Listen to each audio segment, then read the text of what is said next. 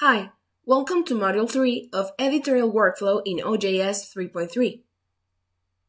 Our author, Jalal, is looking for the right journal for his article, and maybe he's found your journal listed in the directory of open access journals. Maybe he's seen some of our articles being shared by colleagues on Twitter. He's come to the website, read over the focus and scope statement, our copyright policy, and the other guidelines, and now he's ready to submit. He's got a couple of choices. When he is in the About section, he could go to the Submissions page, or maybe click on the Make a Submission button to go there. Now he can see that he has to log in or register to make a submission. Let's click on Register. Now he has to fill in this form with his information. Once he has filled in all of his information, he can agree to the privacy statement agree to get notifications, and select the last option if he would be willing to review other submissions in this journal. Now he can input his reviewing interests. He'll click on register and follow the instructions sent to his email to validate his account. Now he can log in using the created credentials. He can go ahead and click on the Make a Submission button. This will take him to the five-step process. If the journal is published in more than one language, the first prompt for the author is to fill in the submission language. After that, he can select the appropriate section for his submission. He can read the section policies and make sure his work matches all the submission requirements. If he has any comment or additional note for the editor, he can leave it on the rich text editor. He also has to agree to be the corresponding contact so that all the communication about the submission goes to him directly. Now, he'll have to read and acknowledge the copyright statement and agree to have his data collected.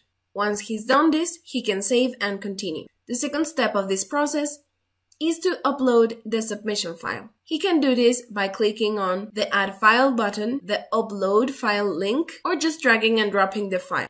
Once a file has been uploaded, he can choose what kind of file or which of the submission components this is. If it is the article text or others such as research materials, transcripts, source text, etc. For this example, let's click on article text. Now, he can save and continue. The third step is to enter the article's metadata. He can start with the title, subtitle, and abstract, and then go ahead and look at the list of contributors. If he has any co-authors, he can add contributors by clicking on the button. Here, he'll have to fill in the information of all the remaining collaborators. The only required fields here are the contributor's name, contact, and country. However, there are other options to fill in, like his affiliation, and bio statement. He also has to select whether this contributor was an author or a translator,